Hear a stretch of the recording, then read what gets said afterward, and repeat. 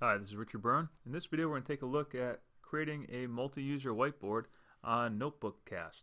You can find it at notebookcast.com. This will work on any device, including your iPad or Android tablet. So let's go ahead and get started here. I'm going to log into my account. And here you can see all the options I have. I can join a whiteboard, I can create an online whiteboard, I can see previous boards that I've made, you can even look at templates that I've used before. So let's go ahead and create a whiteboard. And we'll choose a size for it. You can see we have a bunch of different size options. I'm just going to go with uh, 1200 by 600 here. Just call it our sample board. And we'll say we're using it for a demo.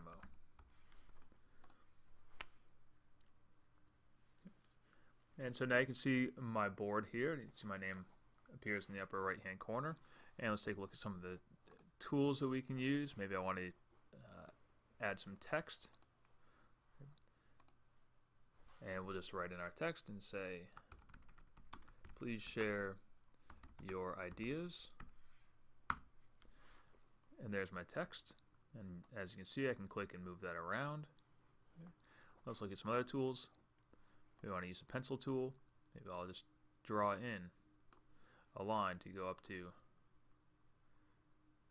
please share your ideas. And of course we can change the line width thin thick medium.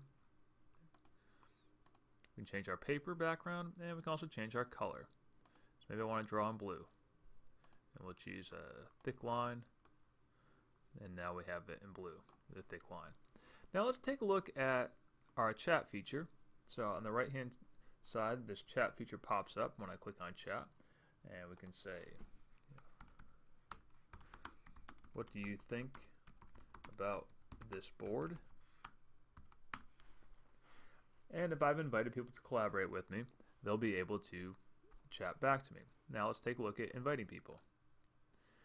So there's our code for guests to join the board or you can give them this URL or you can send them a note via email so let's take a look at this URL and see how it would appear to a, another user.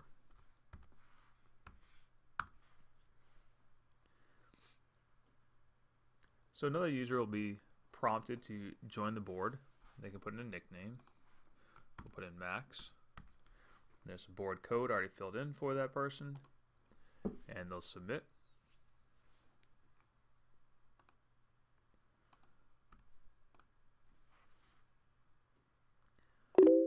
And now we can see that Richard and Max are in the room. And we have a chat message. And Max might reply, I think this is neat.